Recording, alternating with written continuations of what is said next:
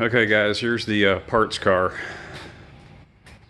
Just got the hood open for the first time. Everything was rusted real tight on that uh, release. But uh, it's probably been the first time this hood has been opened in 25 to 30 years.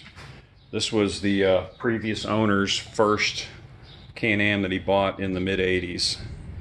And uh, it was in good shape for probably the first 10 years of its life and then um, he said he had to store it outside from that point on and that's when it went downhill but uh, as you can see why it's a parts car. Uh, cancer on this is pretty substantial mean, the hood is not worth salvaging. Obviously, the uh, hardware for the shaker is. Um, I'll probably end up finding a good clean Le Mans hood and do the modification like uh, they did on these for this package and uh, try to duplicate the hood just so I have an extra one. But uh, lots of rust.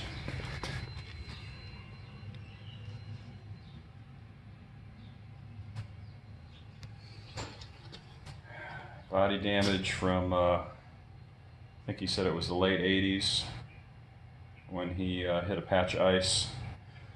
And uh, I believe he said he hit a pole, messed up the quarter panel and the door.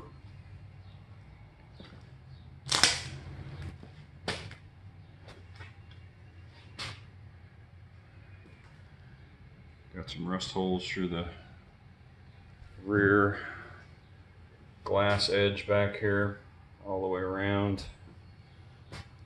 The trunk looks decent from first appearance, but you can see that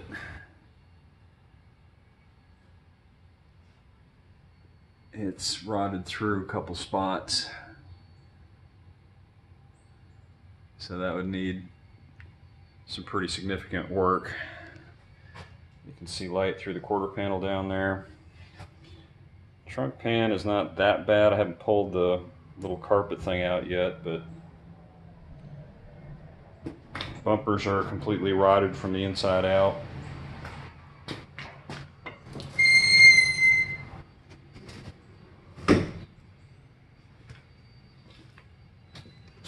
Still has all the factory steel wheels on it. Got the trim rings and all that stuff in a box. Louver's in pretty good shape.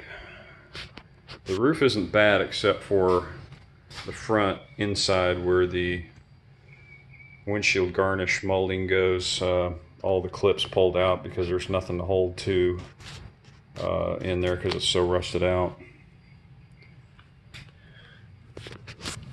But as you can see, there's plenty of cancer here.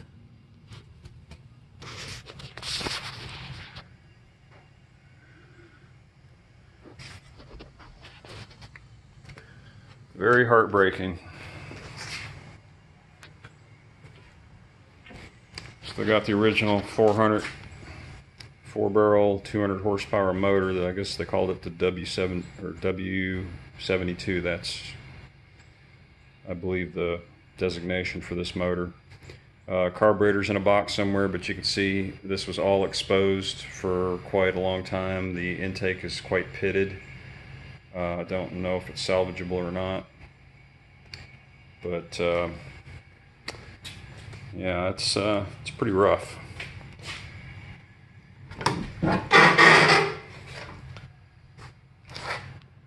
Lower door panels are in pretty good shape. The uppers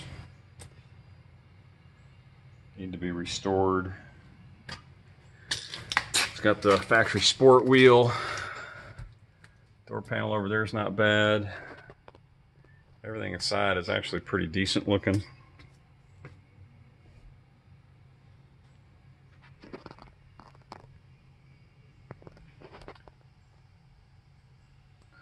Headliner's in really good shape, but as you can see, the rot up there on the front inside of the windshield uh, sheet metal up there is pretty well toast. Floorboards are gone. As you can see, this bucket seat is just the uh, the rails that the seat slides on are completely gone. Floorboards are gone. It's got the Grand Prix dash like all the Can-Ams are supposed to have. It does have an interesting option besides the uh, power windows, and I guess the uh, bucket seats and console was an option too. Um, it's got an actual, don't know if you can see it. It's got the rear defrost option. Let's see if I can get a light on that. But this has actually got the uh, little wires in the back glass, and this is the first time I've ever seen one in person.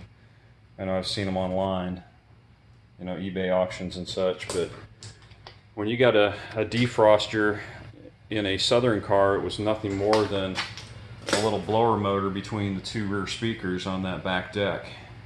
And it had a switch up there that said uh, defog or something like that.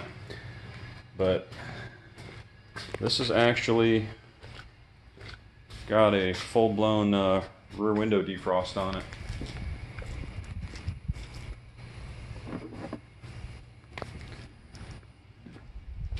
Get a little better look at this interior.